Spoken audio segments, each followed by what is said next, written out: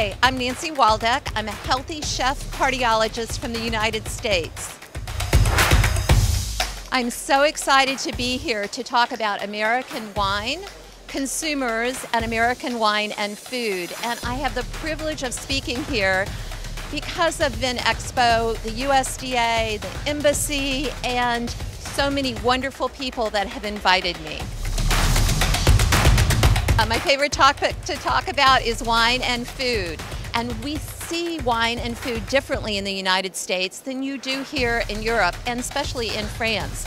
We see wine as a beverage, and you see wine as food. I want to be able to share American food and wine ideas with my audience here.